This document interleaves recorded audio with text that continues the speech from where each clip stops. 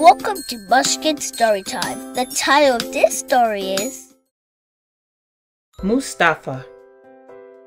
Mustafa and his family traveled a very, very long way to get to their new country. Some nights, Mustafa dreams about the country he used to live in. Dreams full of smoke and fire and loud noises. He wakes up.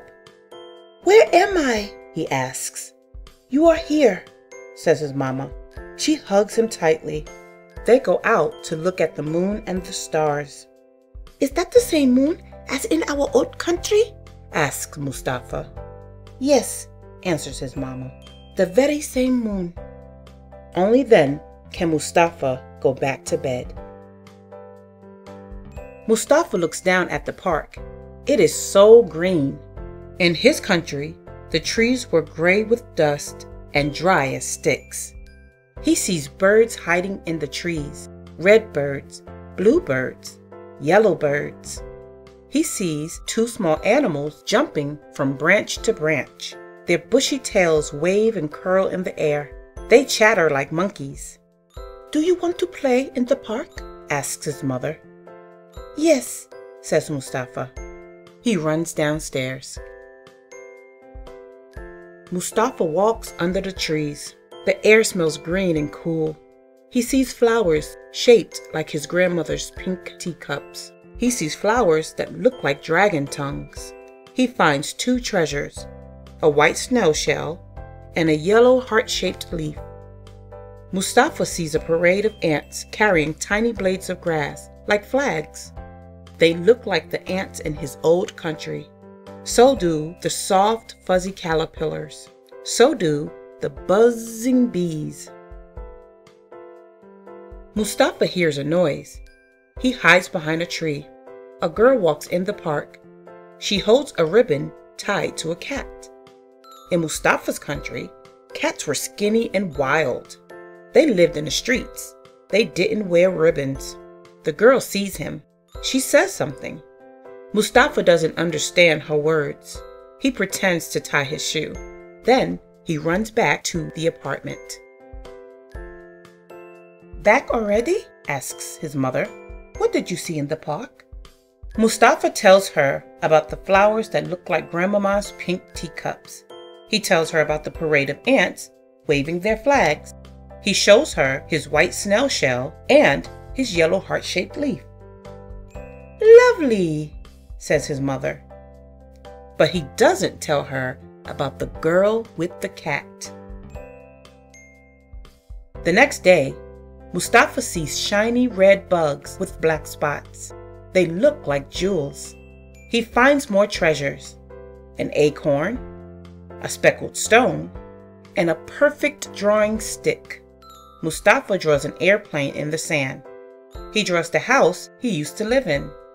He draws clouds of smoke and fire. He draws broken trees. Suddenly, the girl with the cat is there. She points to the drawings and says something. Her words float in the air and disappear. Mustafa drops his stick and runs away. The girl draws flowers, butterflies, and stars. She draws her cat. The clouds of smoke and fire disappear. So do the broken trees. Mustafa goes to the park every day. The trees have turned bright orange and red. Is this magic? He wonders. He sees an old lady feeding breadcrumbs to a whirlwind of pigeons.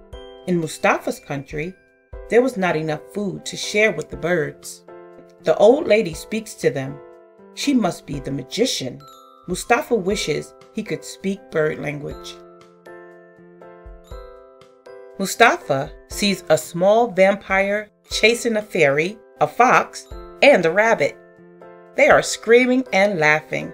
Mustafa waves to them. They don't see him. They disappear into the trees. Mustafa hears music. It winds its way through the trees like a river. A man is playing a red accordion. Mustafa knows this tune. His uncle Amir played it all the time. Everyone smiles and waves and claps their hands. A dog barks. Birds sing. Mustafa whistles along with the music, but nobody notices him. Mama, asks Mustafa, am I invisible? If you were invisible, couldn't hug you, could I? answers his mama. The next day, Mustafa sees the girl with the cat. Before she can see him, he scrambles up to the top of a huge tree. Now he really is invisible. But the girl with the cat finds him. She makes a sign with her hand. It means, Come with me. He follows the girl to a pond filled with dark water. The girl points. Three fat orange fish are swimming in circles. The girl takes some yellow grains out of her pocket and throws them into the water. The fish rush to the surface to eat.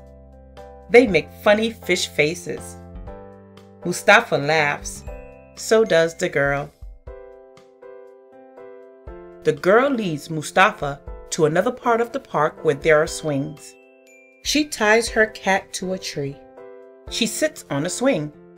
The girl swings back and forth, higher and higher. She looks down at Mustafa. He sits on a swing. He swings slowly back and forth, then higher and higher. Together, they almost reach the treetops. Together, they almost touch the clouds. The girl points to herself and says something. It sounds like Maria. It also sounds like music, happy music. Then she points to Mustafa. He understands. Mus ta fa, he says. Maria smiles. Mustafa doesn't feel invisible anymore. The end.